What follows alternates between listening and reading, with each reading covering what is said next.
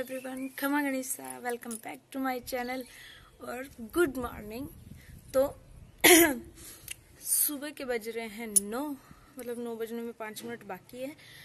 और आज जो वेदर हो रखा है ना आ हा हा हा हा, बता ही नहीं सकती, क्योंकि मैं आई थी ऊपर क्या बोलते कपड़े लेने के लिए। और ऊपर की जो हालत है ना ओ oh गॉड ये देखो। सुबह के नौ बज रहे हैं और ये हालत है मतलब क्या खतरनाक वाली धुआँ आई हुई है।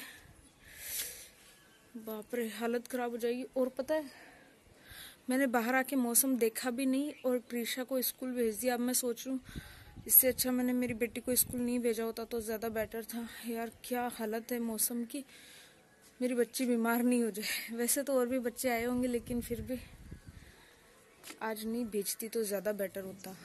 खतरनाक हालत ख़राब हो रही है। मुझे सर्दी नहीं लग जाए, मैं भी नीचे जाती हूँ, क्योंकि मैं बिना कुछ ओढ़े पहने ही ऊपर आ गई। मुझे पता ही नहीं था मौसम इतना ख़राब हो रखा है।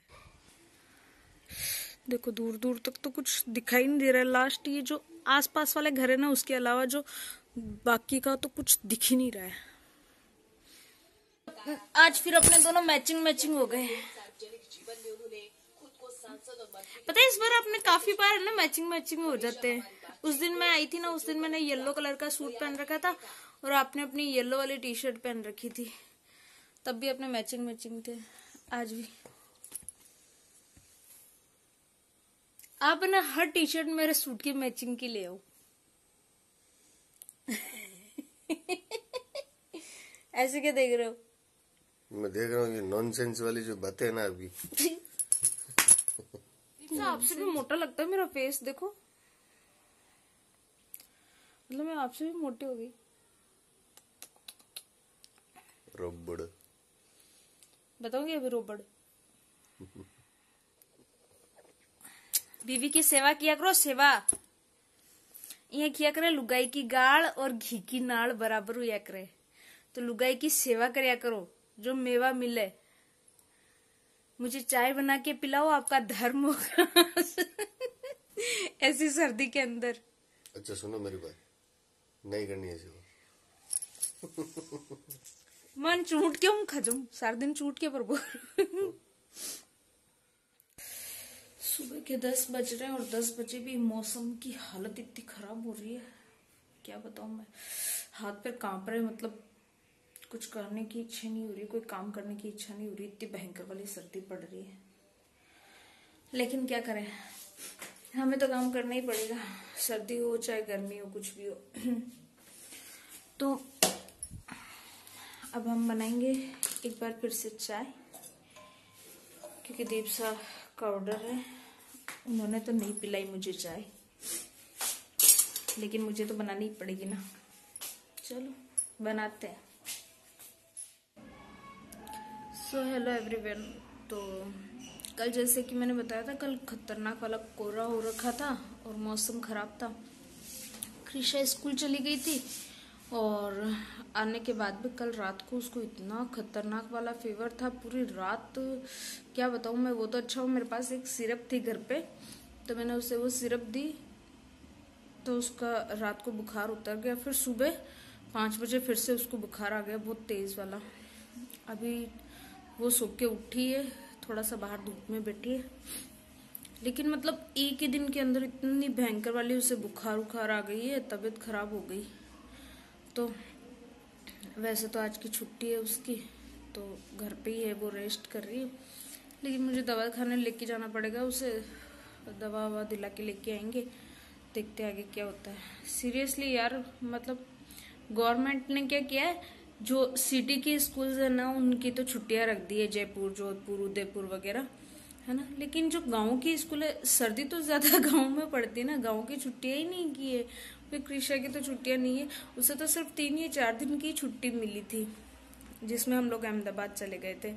और वापस आए तो और ज़्यादा सर्दी फील हो रही है उससे चलो कोई नहीं, सर्दी तो अब मुझे लगता है पूरी फैब में रहने वाली है फैब तक रहेगी तो देखते दवा ववा दिला के लिख के आते हैं, कैसे क्या होता है। तो मैं बनाने जा रही हूँ दीपसा की फरमाइश पे बेसन के पकोड़े। दाल के पकोड़े तो उन्होंने एक दिन पहले खा लिए थे। आज बनाऊँगी बेसन के पकोड़े, उसकी तैयारी कर रही हूँ। अगर आप लोगों को किसी को इसकी रेसिपी चाहिए हो तो मेरे रेसिपी चैनल पे आपको उसकी रेसिपी मिल जाएगी।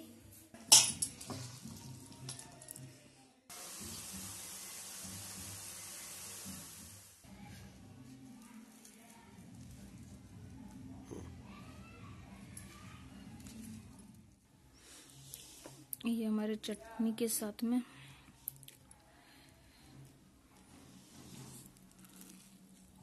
हम्म। यहाँ देखो पकोड़े खा खा के लोग बिस्तरों में घुस गए वापस दोपहर में ही। हाँ और मैं बेचारी। अब मेरे हाथ लगेंगे पकोड़े। अच्छा जिस जिसको खाना है। नहीं खाना मेरे को।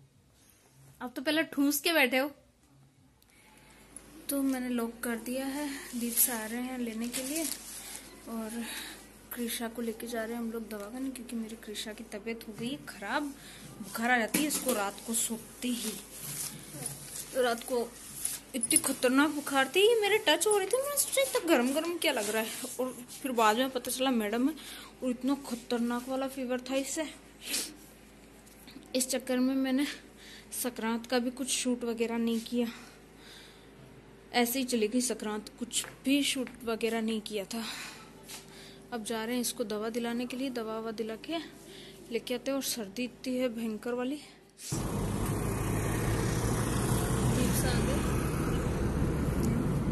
और आज कृषा आगे। कृषा आगे बैठी है क्योंकि कृषा का पीछे जी घबरा रहा था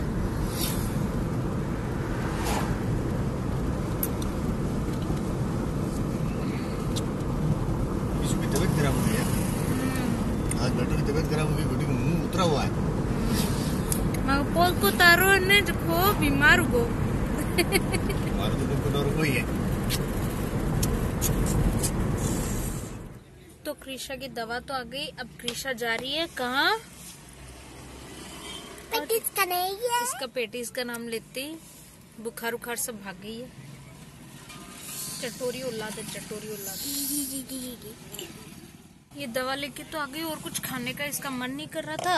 और बोलती मम्मा मेरे को है ना पैटीज खानी है तो मैंने बोला, चलो खिला के लाते और क्या. तो फाइनली अब हम लोग घर पे आ गए।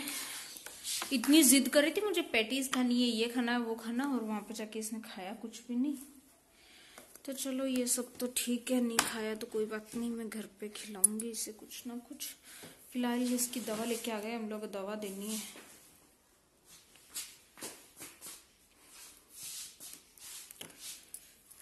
थैली भर के दे दी दवाई। किसु ग्लास लेके आओ ना। ग्लास? हाँ ताकि दवा दे दूँ आपको।